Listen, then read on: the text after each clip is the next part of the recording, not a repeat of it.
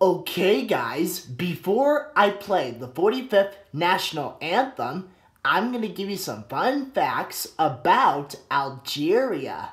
Algeria is a country in North Africa, and the capital of Algeria is Algiers.